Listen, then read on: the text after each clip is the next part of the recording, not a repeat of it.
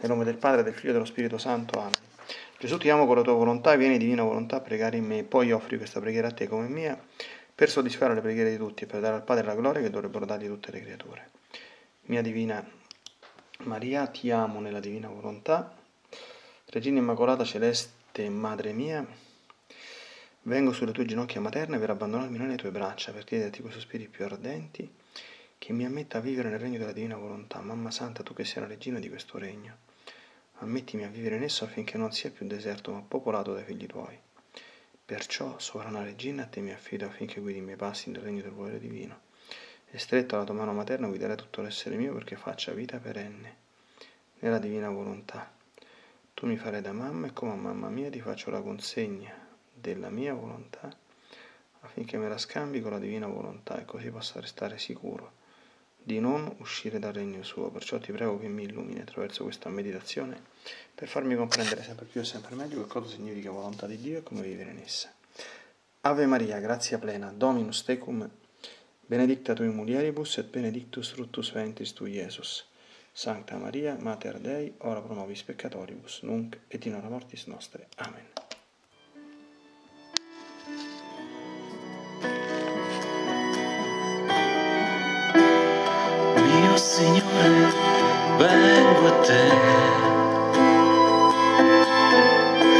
Far mia la vita del Fiat Supremo. Voglio essere il tuo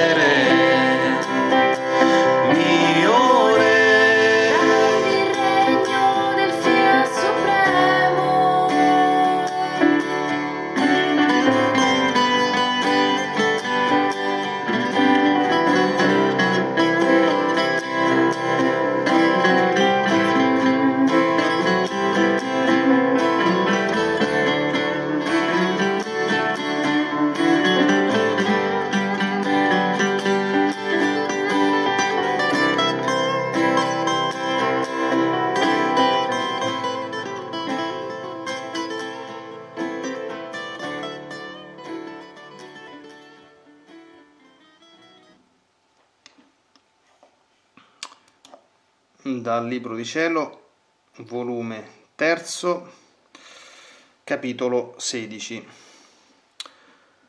Continua il mio adorabile Gesù a venire e questa volta lo vedevo in atto quando stava alla colonna.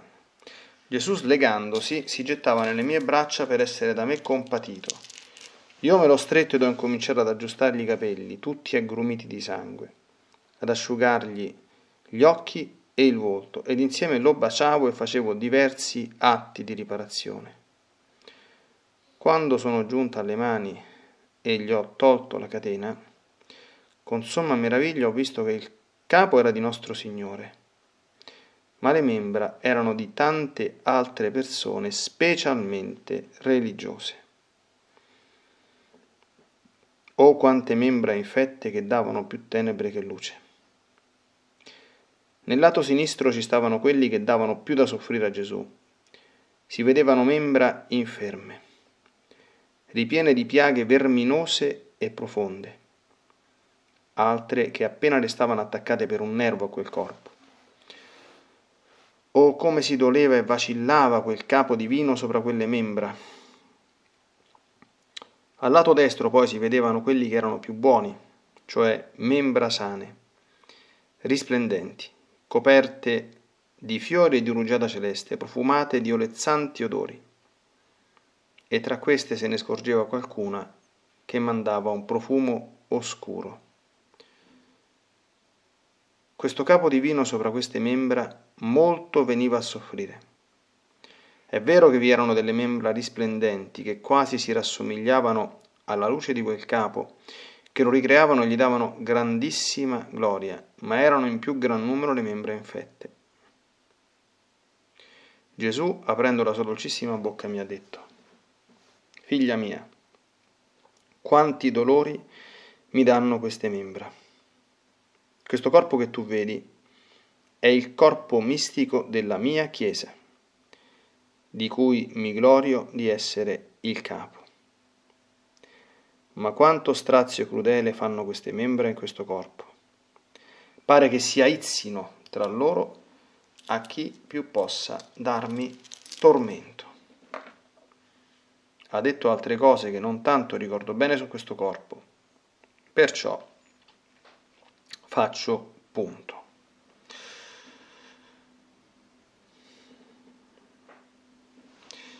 Il capitolo che abbiamo appena letto non è molto lungo, però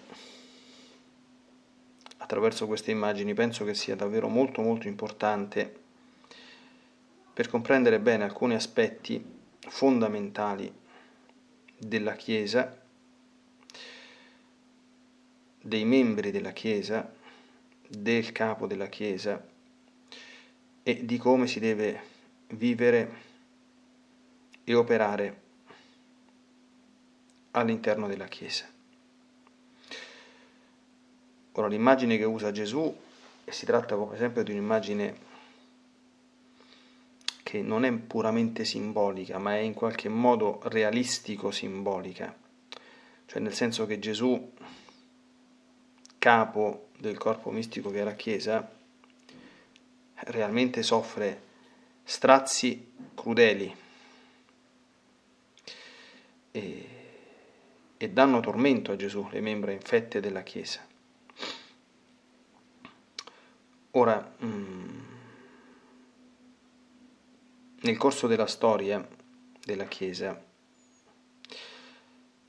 la Chiesa ideale su questa terra, cioè la Chiesa perfetta, non è mai esistita non c'è mai stata.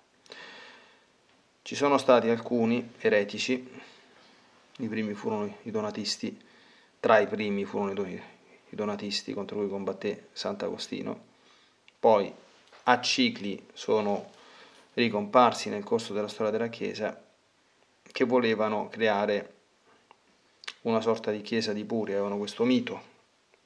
Attenzione, come tutte le eresie, questo mito non è come dire, del tutto da buttare via. Ecco, perché la Chiesa, la sposa di Cristo, è tutta chiamata fin da questo mondo a risplendere di luce, come sappiamo dall'insegnamento lo stesso autorevole della Chiesa stessa, anche nell'ultimo concilio. Cristo è, lume, è il lume ingenzio, la luce delle genti, e la Chiesa ne dovrebbe essere il riflesso vivo fecondo, cristallino, solare. Ecco, ma Sant'Agostino stesso, proprio mm, combattendo contro i donatisti, eh, diede questa definizione del corpo mistico di Cristo, no? lo chiamava corpus per mixtum, cioè corpo frammischiato, dove convivono membra sane e membra malate. Chi sono queste membra malate? sono persone che più o meno a vari livelli vivono in maniera difforme da come dovrebbe vivere un figlio di Dio, cioè sono più o meno implicate in situazioni di peccato. È chiaro che le membre verminose profonde mm, ricordando un pochino di immagini usate anche nella letteratura spirituale, danno da pensare a quelle anime che purtroppo si lordano nell'impurità, che produce proprio una putrefazione ecco, della nostra anima. E quelle che rimangono a toccare soltanto un nervo, sono, soltanto con un nervo, sono immagini di quelle anime talmente messe male che è un miracolo che ancora in qualche modo stiano mm, legate a questo corpo, no? La cosa abbastanza sconvolgente è che eh, Luisa stessa nota che le membra erano di tante altre persone specialmente religiose.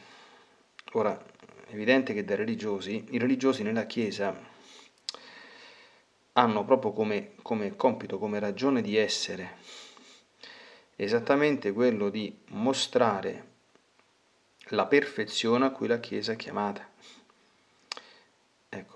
La Chiesa dei puri non può essere realizzata e non esiste in questo mondo perché la perfezione è una chiamata, è una chiamata che richiede grande sacrificio, grande eroismo, per cui la Santa Madre Chiesa nella sua dimensione materna ha sempre sottolineato, sì, quello che il Signore chiede, diciamo, strettamente a tutti quanti i membri della Chiesa è l'osservanza dei dieci comandamenti. Santa Teresa diceva, senza di quelli in paradiso non si entra, ma la perfezione che pure il Signore desidera, perché nel discorso della montagna ha esortato, siate perfetti come è perfetto il Padre vostro celeste, è un'operazione che ciascun membro della Chiesa deve interiorizzare, deve comprendere, deve fare sua e deve liberamente scegliere.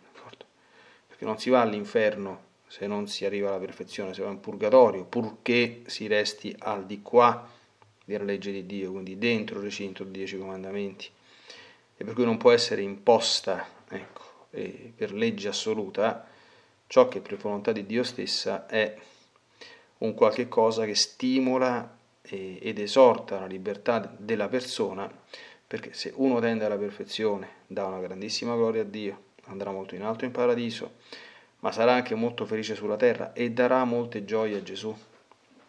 Quindi bisogna essere ben motivati, d'accordo? E, e molto radicati anche nel, nell'amore, no? Ora però, eh, quando uno diventa religioso, eh, cioè, gli istituti religiosi, questo lo si, lo si sa, insomma, per chi ha studiato un pochino della vita della Chiesa, per definizione, la ragione d'essere eh, dei religiosi è proprio esprimere, mostrare a tutti i fedeli la bellezza della vita di perfezione. Lo stato religioso anticamente era chiamato proprio lo stato di perfezione. Perché? Perché attraverso i tre voti di povertà, obbedienza e castità eh, si rinuncia in maniera folle, in, scusate, in maniera, in maniera forte ai primi tre vizi capitali, che sono i primi tre idoli del mondo, attraverso l'obbedienza uno rinuncia alla superbia, che è la cosa più grave insomma, che, che esista, no?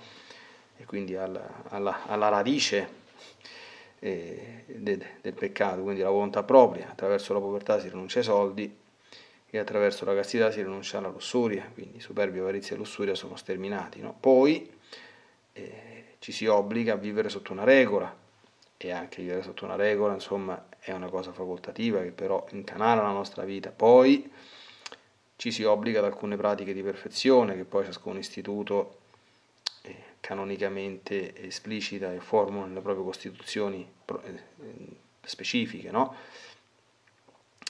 E poi si vive in comunità, quasi sempre, quindi la vita in comunità è una grande scuola di perfezione e di santità, quindi eh, chiaro che mh, mm, vedere dei religiosi degni di questo nome offre uno spettacolo edificante a tutti, perché anche se non tutti siamo chiamati ad essere religiosi, come la Chiesa ha insegnato nel Concilio Vaticano II, tutti sono chiamati alla santità.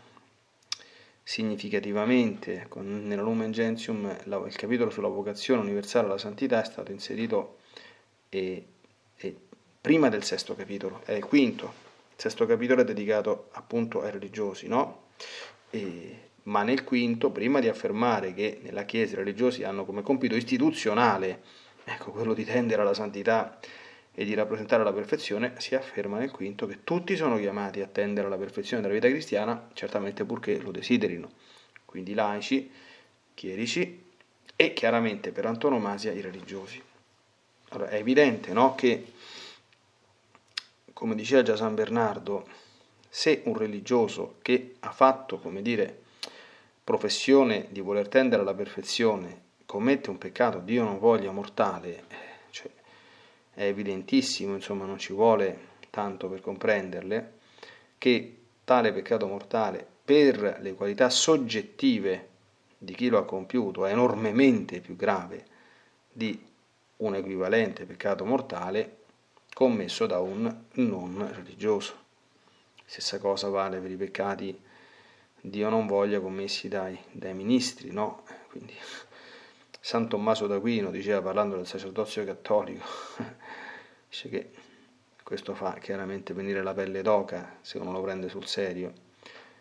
Il sacerdozio, quindi essere uniti a Cristo capo e sacerdote e pastore e incarnarne la sua vita, rappresentarne la figura ed esercitare i suoi poteri efficacemente e realmente, richiede, diceva lui, nell'anima che assume il sacerdozio una tale perfezione come quella di un, di un, di un religioso consumato.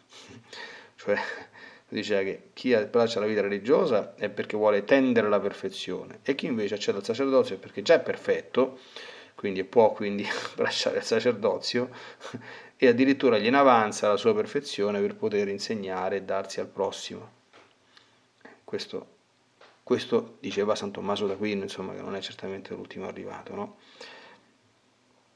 Allora si vede anche nelle ore della, della passione, no? Quando eh, a un certo punto proprio il padre dice a Gesù, dice, ma guarda un po', ma chi è che ti ha ridotto in questo modo? Ma è possibile che anche la parte eletta dei tuoi discepoli, no? E ti massacra in questo modo, manco loro, insomma, ecco, e fa chiaramente riferimento a questo, a questo problema, a questo problema. Allora, il, il discorso è questo, come si risolve questo problema? Allora, assolutamente parlando, questo problema non si può risolvere. E noi tutti quanti dobbiamo anzitutto fare molta attenzione a non scandalizzarci della presenza del male in alcune membra, come disse a suo tempo San Giovanni Paolo II, quando come rappresentante di tutti i figli della Chiesa chiese perdono per le colpe di alcuni figli, attenzione, non della Chiesa in quanto tale, perché la Chiesa in quanto tale, in quanto sposa di Cristo nella sua realtà misterica e soprannaturale, non pecca e non può peccare Adesso questa non è una catechesi, è una meditazione, non c'è tempo di approfondire questo punto, no? Però i figli della Chiesa, quindi, o i membri della Chiesa, come si vede qui, certo che possono peccarlo, perché ciascuno di essi conserva il libero arbitrio e non è confermato in grazia. Quindi se non esercita bene il proprio libero arbitrio, se non cerca la divina volontà, se non si unisce alla divina volontà, certo che può peccare, può essere tentato e può peccare. E a volte può farle grosse ecco, tali da dover poi, come dire, in qualche modo necessitare per lo scandalo dato, ecco, che chi rappresenti la Chiesa, facendosi in qualche modo carico anche di queste miserie, giustamente ecco, chieda perdono, ecco, perché noi facciamo presto a fare i peccati, no? Ma a volte non chiediamo nemmeno perdono a Dio, eh, ma quando noi facciamo un peccato che coinvolge il prossimo, noi dobbiamo chiedere perdono al prossimo. Eh perdona a tua moglie, perdona a tuo marito, perdona al tuo amico, perdona al tuo dipendente, quando tratti male qualcuno, quando offendi qualcuno, perdona al tuo prossimo. Questo in pochi lo, lo fanno, ma è doveroso farlo, che quando si manca nei confronti anche del prossimo si chiede in primis perdono a Dio, perché anche le mancanze della carità fraterna sono offese a Dio o all'amore fraterno, ma poi si chiede anche perdono al diretto interessato. Chiusa questa parentesi. Quindi non dobbiamo scandalizzarci della presenza di queste cose nella Chiesa. Uno. La seconda cosa però è che non dobbiamo evidentemente cooperare alla diffusione di queste cose, no? Cioè una piaga infetta si fascia Primo perché è orribile a vedersi, secondo perché fasciandola forse sicura, ecco. E terzo perché se la lasci, insomma, eh, esposta, puzza e, ed è orrida a vedersi, no? Allora, che cosa dobbiamo fare quando vediamo qualcosa che non funziona in qualche membro della Chiesa? Numero uno, il primo soggetto di meditazione dobbiamo essere noi stessi. D'accordo? Perché Gesù non vuole che si guardi i peccati degli altri e si dimentichino i propri. E non dobbiamo dimenticare che ha sempre detto che di voi è senza peccato, scagli per primo la pietra, e disse questo in riferimento ad una peccatrice reale, quindi non, non era una calunnia, quella era un'adultera, sorpresa in flagrante adulterio, quindi era una pubblica peccatrice, cioè una persona che dava scandalo. D'accordo? A quei tempi era ovvio che l'adulterio fosse un pubblico scandalo, oggi è molto meno chiaro, insomma, però a quei tempi lo era. E non è che ha avallato il peccato di questa donna, ma ha raccomandato di, che nessuno di noi si senta il puro della situazione e, e l'immacolato della situazione, nel senso che anche nei confronti di un pubblico scandalo si deve esercitare, certamente in modo consono, la misericordia, quantomeno non scagliando la prima via, non scandalizzandoci. Ecco.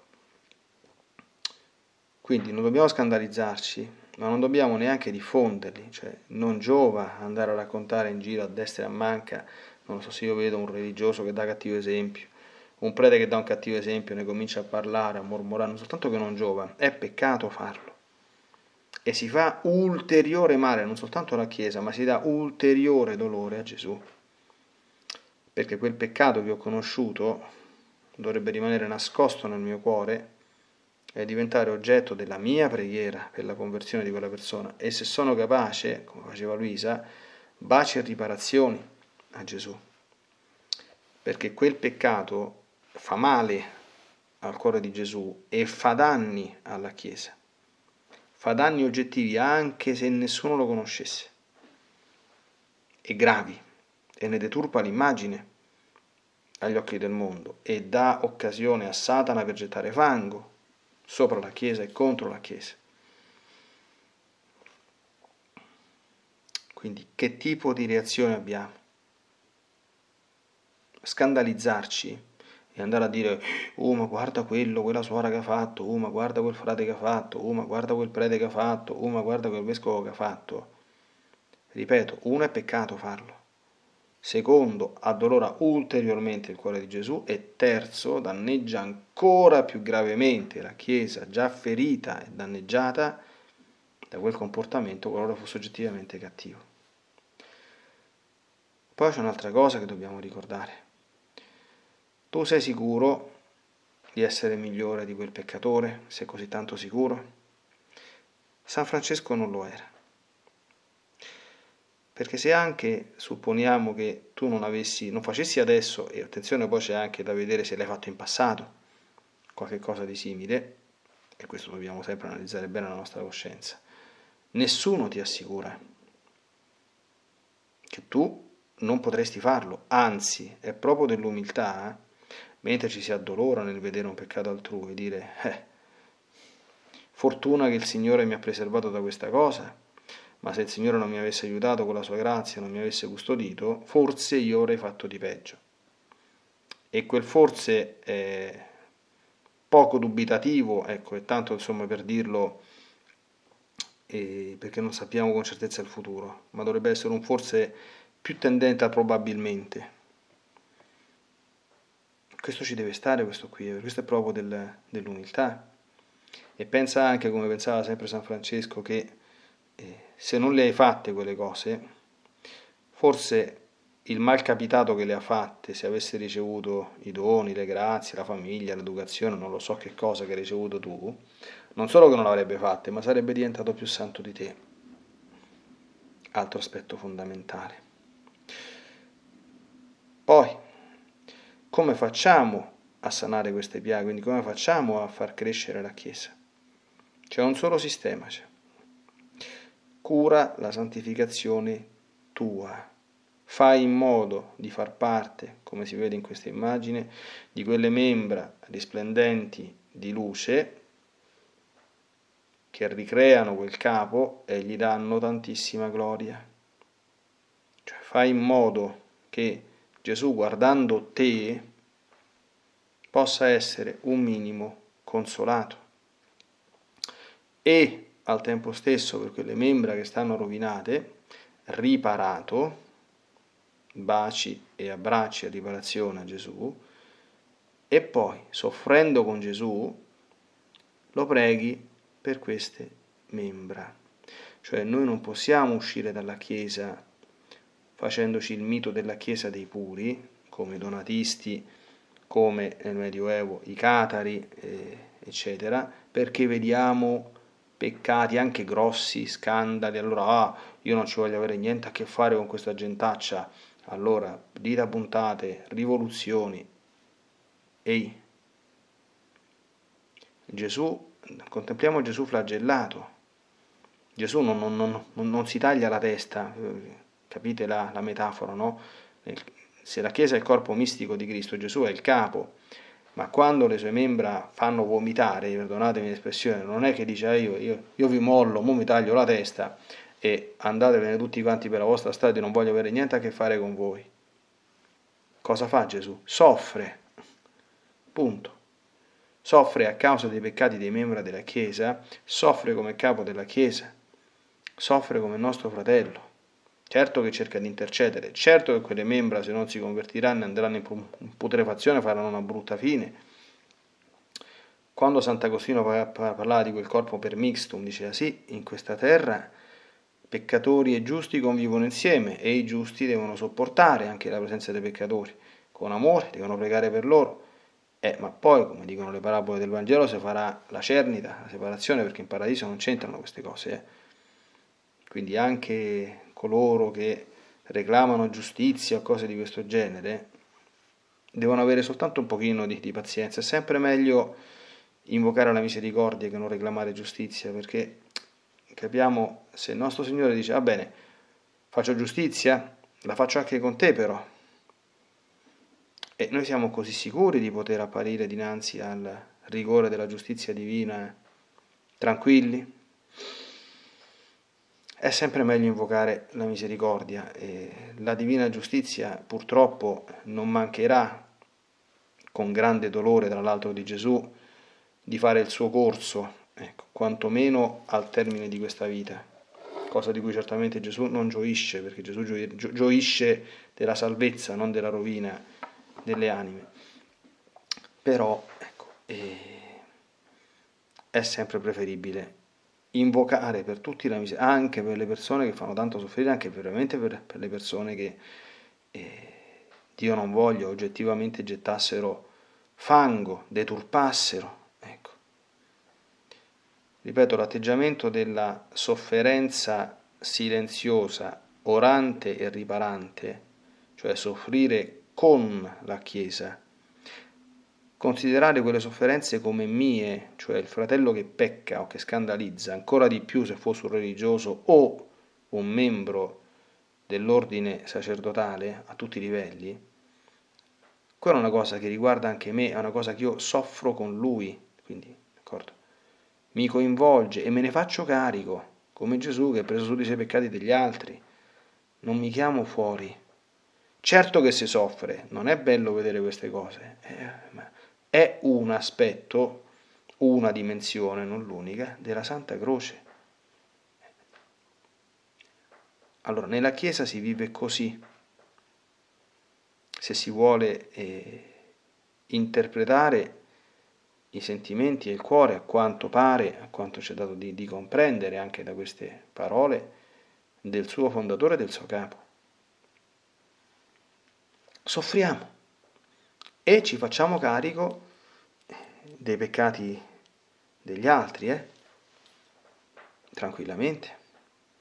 Io conosco sacerdoti, li conosco, che qualche mangiapreti, insomma, anticlericale, laicista, li ha incontrati per strada e li ha insultati pesantemente dicendo tu Cosa fai ancora in giro? Brutto pedofilo, levati dalla, dalla mia faccia.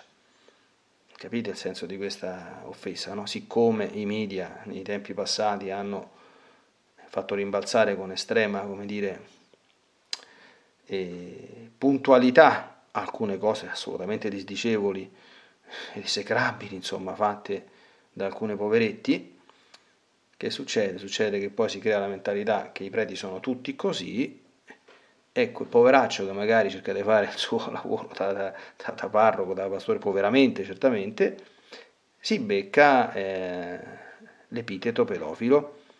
E che cosa fa quello?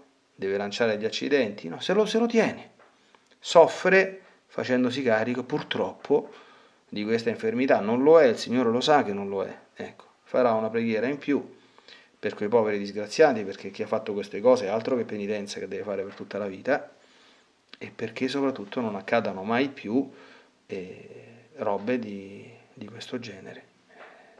Capite? Ecco, quindi noi amiamo la Chiesa perché la ama Gesù, soffriamo con la Chiesa perché ci soffre Gesù e soffriamo per la Chiesa perché ci soffre Gesù. Sappiamo che non è possibile, ecco, se, se ci stacchiamo da questo corpo, d'accordo? Andremo semplicemente in, putrefazione, noi per primi. Se rimaniamo in questo corpo dove alcune membra sono infette, voi capite che quando eh, una parte del mio corpo è infetta, non è che soffre solo la mano, soffro io, soffre tutta quanta la persona. Ecco, però il Signore gradisce queste sofferenze di condivisione con le sue e i modi santi per intercettarle e per affrontarle. Non ci sono altri modi per affrontarle se non quelli che il Signore ci ha fatto comprendere, esternando anche il suo dolore e pazientando anche con coloro che purtroppo straziano la sua persona, dilaniano eh, la Chiesa e mandano in putrefazione purtroppo alcune sue membra.